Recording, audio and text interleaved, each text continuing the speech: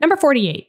At room temperature, the equilibrium constant Kw for the self ionization of water is 1.00 times 10 to the negative 14th.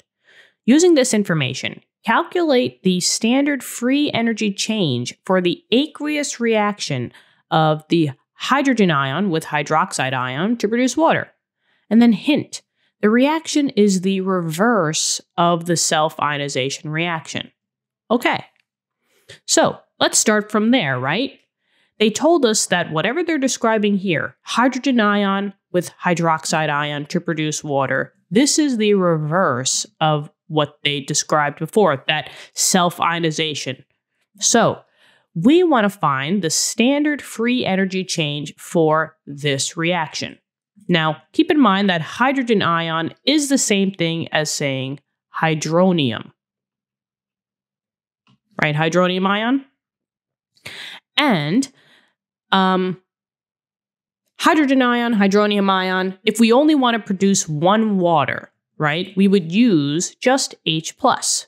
So I'll say H plus hydrogen ion, literally H, and that's aqueous, plus the hydroxide ion. Hydroxide is always OH minus, that's aqueous. And since it's talking about equilibrium, this comes to equilibrium to produce water. And water is a liquid, H2O, liquid. Okay, so there is your balanced equation. Now they're saying that this equation is the reverse, which literally means that it is flipped, right? It's the flipped reaction of the self ionization. And they told us that the self ionization K value is 1 times 10 to the negative 14th. So, if this is the flipped version, what do you think we have to do with that K value? Yeah, we also have to flip it or reverse it. So, this K value for this specific reaction would be the in the, the reverse. So instead of just having 1 times 10 to the negative 14th, it's 1 over that value. So let's just find that out. So this would be, and maybe since we need a little bit more room, I'm just going to maybe bring this over, and there goes the P. I'll put it back. Oop. Okay. So this K value for us would be 1 divided by the 1.00 times 10 to the negative 14th. So let's find out what that number is. So the K value for us is 1 divided by, and now let's um, put in this scientific notation value without uh, parentheses. In order to do that, what we're going to say is 1.00, and then we're going to use this EE button. If I say second comma, this means times 10 to the. So you don't even have to put in times 10 to the, you just got to put in the exponent. So negative 14. And the calculator will understand to keep this all together, so you never have to use parentheses again for scientific notation.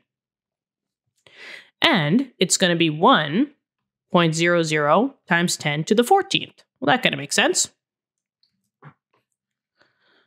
So now we have our K value and we want to calculate the standard free energy change for that reaction. Well, Standard free energy, right? Free energy, we're talking about Gibbs free energy, so we're solving for a delta G. What's the formula between a delta G and a K value? Well, that's this right here, right? Delta G equals negative RT times ln of K. And the K value is what we just solved for, 1.00 times 10 to the negative 14th. Well, now we just need to know R and we need to know T. R is a constant value. Specifically, if we're using energy values, this is going to be 8.314. Units are going to be in joules per mole times Kelvin, which means that we need to find a temperature in Kelvin. Now, they're talking about standard and they said room temperature. Room temperature is always 25 degrees Celsius. So even though they didn't give us a temperature, room temp is always 25 degrees Celsius. So if I say that room temperature is 25 degrees Celsius, the R value says I need it in Kelvin, K for Kelvin. But that's okay, because I could just convert Celsius into Kelvin by adding 273. More specifically, I'll add 273.15 to get a more accurate value, but that is 298.15. This number is like ingrained into my mind. Room temp, 298, 298.15, same thing. And now I think we're all covered to find out that delta G. So let's just plug it in and solve. Delta G, standard, you know, Gibbs free energy, is negative, and then we have the two values ln of 1.00 times 10 to the 14th. I just saw that I put negative 14th. We're doing the reverse. This is 298.15 and the R value is 8.314. Okay, we could plug this all into the calculator at once. The negative is in the formula, so negative 8.314 times the room temp, 298.15, times natural log, which is the ln button, that's here. And then I'm going to do that, that EE thing again, 1.00 second comma. That means times 10 to the, and then I'm just going to put the 14th. And then enter. So I get negative. I guess we have three sig figs here. So we'll just do three sig figs. So negative 7.99 times 10 to the 1, 2, 3, 4.